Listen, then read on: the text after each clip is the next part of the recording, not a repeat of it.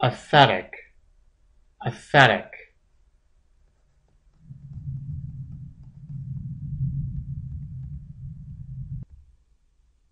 Practicing self-denial.